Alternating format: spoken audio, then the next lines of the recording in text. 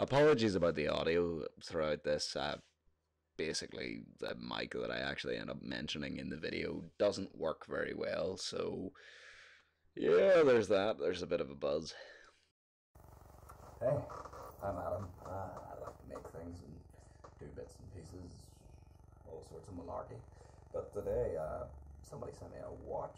It's a little smartwatch. They're, it's called UTHCRACY. Uthcracy.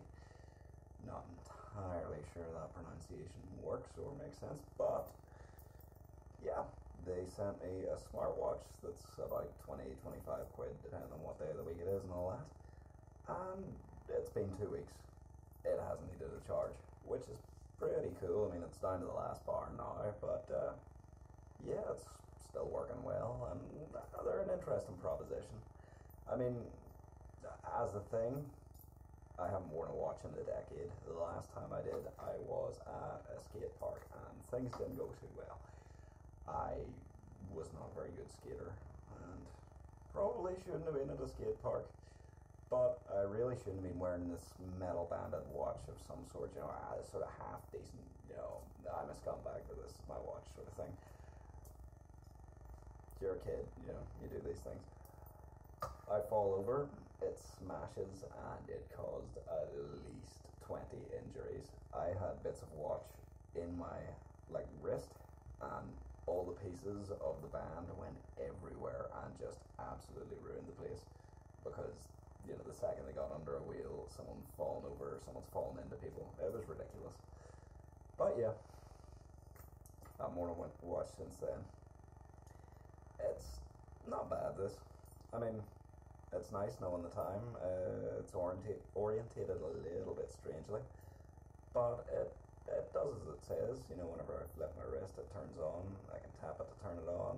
It has a couple of interesting features like being a pedometer, a sleep measure, measure, monitor, uh, whatever you call it. Uh, it doesn't work amazingly as a pedometer, but it does work as a general overview of how much you moved, which is to say that the busiest part of the day, according to it, is the bumpy bus ride out to work in the morning. It it works pretty well as a sleep monitor. Uh, the auto sleep's hit and miss because it'll think you're auto sleeping whenever you know you're just not moving very much. But uh, yeah, it actually does seem to you know give you a general vague overview of things.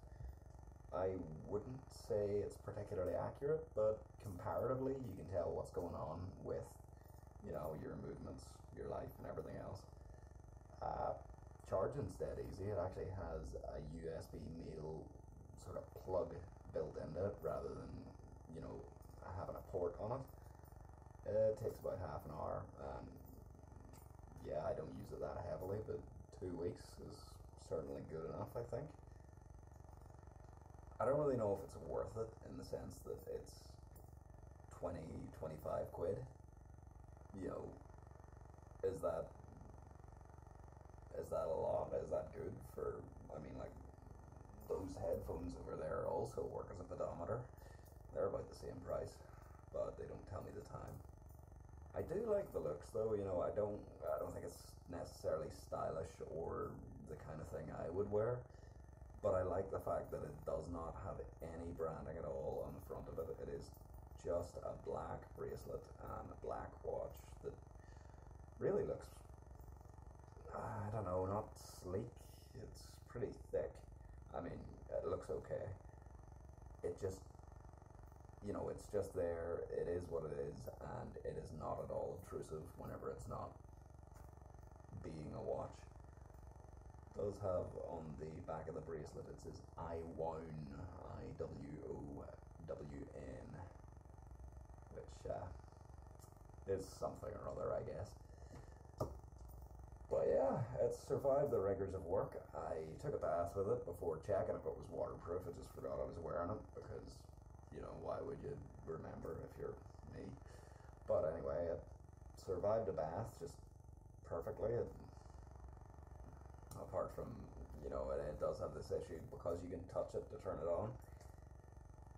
Yeah, if you don't have it in sleep mode, it'll drive you crazy. At least the bracelet flip, or you know, the the wrist flip, that cuts off whenever it's in sleep mode.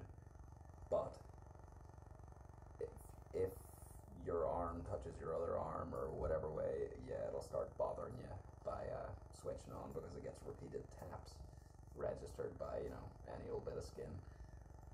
Does the same in the bath, but you know it's take your watch off before you get in the bath, or you're gonna get spongy wrists anyway. Uh,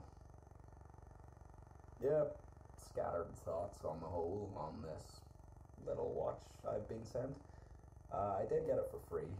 Uh, you get lots of stuff for free on Amazon to review from different sellers, but on the whole, you know, I actually got this microphone and I don't think I've reviewed it yet.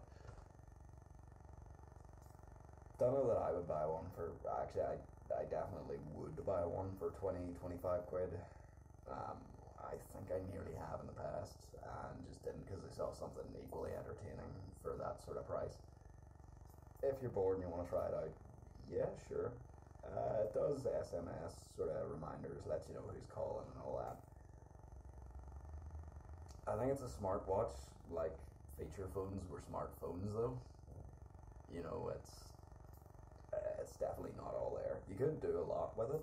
You know, a lot of it's bound by both what sensors are there, but also whatever the app pushes to it. You know, your phone still drives it essentially, and the app's okay. You know, it's it is what it is. Overall, I like it enough. It works for me. I think. I don't know. I mean, uh, I don't know that it's. I definitely don't need it in my life, but yeah, it looks okay.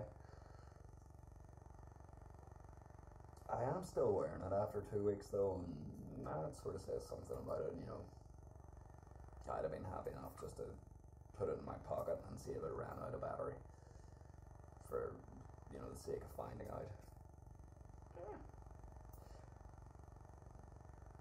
Hmm.